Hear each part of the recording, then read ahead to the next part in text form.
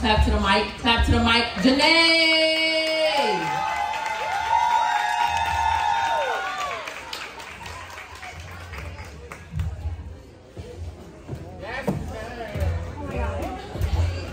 Hi Dallas, how y'all feeling?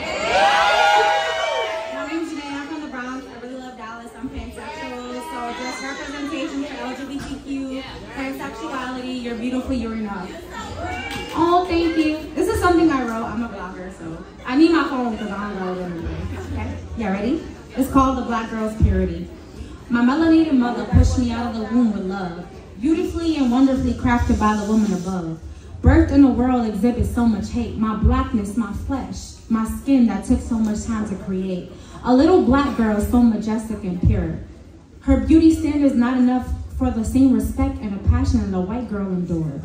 Skips down the block with her Goldilocks curls, so much admiration she received from the world.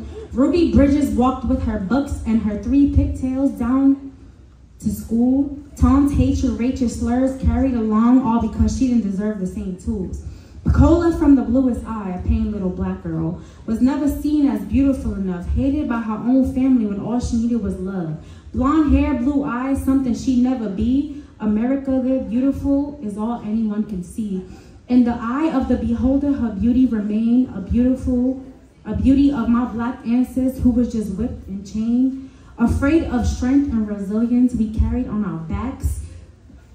The same little black girl you see, yeah, we products of that.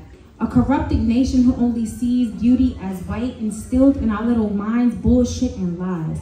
To believe a black woman is appreciated enough in this day and time, you taught us to hate our skin and our coils and our curls. To all my young black girls, you are purity and serenity and magic exists within you. See, nothing could ever replace a black girl's purity, period.